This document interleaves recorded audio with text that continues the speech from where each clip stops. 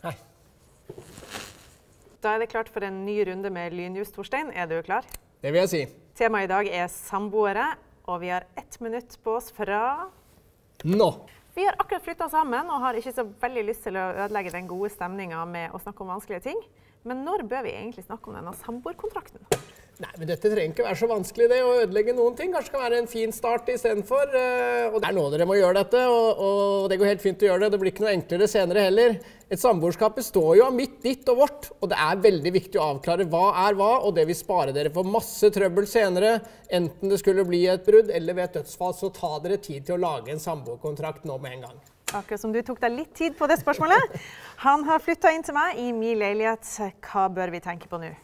Ja, Eierskap til boligen er jo kanskje det aller viktigste. Skal han kjøpe seg inn i boligen din? Skal han opparbeide seg en eierandel etter hvert, kanskje ved å nedbetale på lån? Eller skal det være husleie inne i bildet her? Det må uansett inn i samboerkontrakten som dere skriver. Begynner å få dårlig tid. Samboeren min har mye gjeld og ikke helt kontroll på pengene. Hvordan bør jeg sikre meg?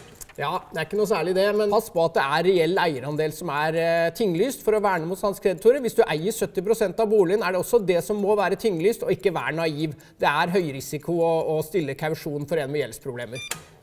Lønner det seg å gifte seg istedenfor å være samboere? Kjapp deg nå. Ja, jeg vet ikke om jeg kan uh, si det. Det er forskjeller, uh, fordeler og ulemper med begge deler. En uh, viktig forskjell er at det er felleseie med likedeling ved ekteskap.